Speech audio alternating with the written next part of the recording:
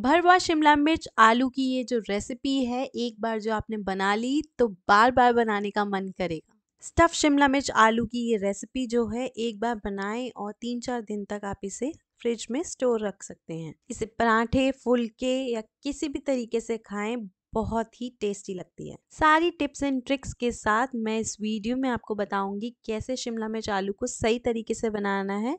तो इसलिए इस वीडियो के एंड तक बने रहें। तो चलिए शुरू करते हैं। सबसे पहले मैंने आलू को बॉईल कर लिया है। ये तीन बड़े साइज़ के आलू हैं, इसे छील लेंगे। छीलने के बाद ना आपको क्या करना है? ग्रेटर की मदद से ग्रेट करना है या फिर हाथ से अच्छे से इसे फोड़ लेना है। ध्यान रखिएगा, मोटे गुटले नहीं रहने चाहिए क्योंकि जो स्टफिंग है वो हमें बिल्कुल ऐसी चाहिए कि मुँह में घुल जाए। और ये इसलिए भी इंपॉर्टेंट है ताकि मसाले अच्छे से रम जाएँ इसमें। अब तीन मीडियम साइज़ शिमला मिर्च लेनी है। इसको अच्छे से धो लेना है, फिर इसको बीच में से कट करना है। कट करने के बाद ना जितने भी ये बीज दिख रहे हैं, इनको स्कूप आउट करना है, ताकि एक होल सा बन जाए, जिसके अंदर हम आलू की फिलिंग कर सकें। ये स्कूप आउट ध्यान से कीजिएगा होल नहीं होना चाहिए, नहीं तो फिलिंग निकल सकती है।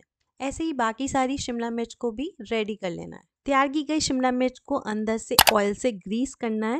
ये ग्रीस क्यों कर रहे हैं? यहाँ पे एक बहुत इंपॉर्टेंट टिप है, हम क्या करेंगे, नमक का हाथ लेंगे और इस पे पूरे पे नमक लगाएँगे। इससे ना शिमला मिर्च फीकी फीकी नहीं लगेगी। अब तैयार करते हैं स्टफिंग उसके लिए एक पैन लेंगे, उसमें ऐड करेंगे एक टीस्पून घी। फ्लेम को लो टू मीडियम रखना है, साथ ही साथ इसमें डालना है चुटकी भर हींग, आधा टीस्पून जीरा, चटपटेपन के लिए दो बारीक चॉप की हुई हरी मिर्च मीडियम फ्लेम पर सॉटे करेंगे, आधा टीस्पून हल्दी बढ़िया से कलर के लिए और साथ के साथ ये एंटीसेप्टिक होती है। जो अब हमने आलू फोड़े थे हाथ से, मैश किए थे, उसे इसमें डाल देंगे और लो टू मीडियम फ्लेम पर इसको सॉटे करेंगे। ढाई टीस्पून मैंने धनिया पाउडर डाला है यहाँ पे। अच्छे से मिक्स कर लेंगे ताकि आलू में हमारे सारे जो मसालों के फ्लेवर हैं वो इनकॉपरेट हो जाएँ। और साथ के साथ आलू अच्छे से पक जाए। खट्टेपन के लिए मैं यहाँ डाल रही हूँ एक टीस्पून अमचूर पाउडर। नमक स्वाद अनुसार थोड़ा सा नमक ना इस रेसिपी में ज़्यादा डलता है क्योंकि आलू भी फीके होते हैं और शिमला मिर्च भी। आधा टीस्पून गरम मसाला मैं यहाँ ऐड कर रही हूँ बढ़िया सी खुशबू और फ्लेवर के लिए। साथ के साथ एक टीस्पून करीब कस्तूरी मेथी।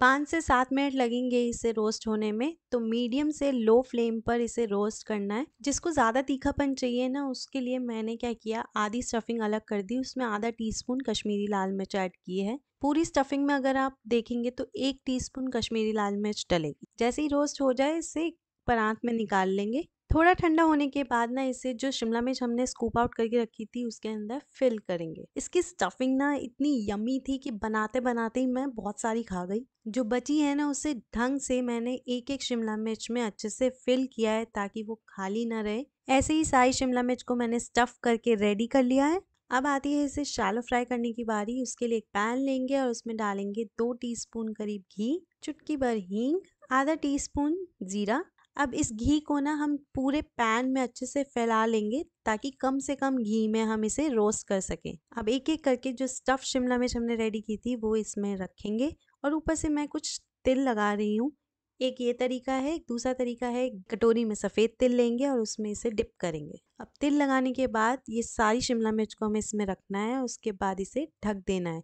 लो फ्लेम पर इसे रोस्ट करना है बीच बीच में चेक करते जाना है। सारी साइड से अच्छे से पके, इसके लिए इसको अलट पलट के रोस्ट करना है। मैं इसे हाथ से पलट रही हूँ, आप चाहें तो फोक या नाइफ का भी इस्तेमाल कर सकते हैं। बीच बीच में इसे अच्छे से पकाने के लिए इसे ढकना ज़रूरी है ताकि स्टीम से ये जल्दी पके। जैसे कि आप देख सकते हैं, शिमला मिर्च का भी कलर चेंज हो चुका है और आलू का भी लाइट गोल्डन कलर और शिमला मिर्च का जो है कच्चापन चला गया, आप देख सकते हैं। पूरी अच्छे से पक चुकी है ये, फ्लेम ऑफ़ कर दीजिएगा। इसे लगभग 15 से 20 मिनट लगे हैं लो टू मीडियम फ्लेम पर पकने में। अब किस बात की देरी है? प्लेटिंग करिए और सर्व करिए पराठों और फुलकों के साथ। मुझे कमेंट बॉक्स में लिख के ज़रूर बताइएगा कैसी लगी आपको ये रेसिपी। मैं मिलूँगी ऐसी और बढ़िया बढ़िया रेसिपीज़ के साथ। तब तक के लिए good bye, take care. Don't forget to like, share and subscribe.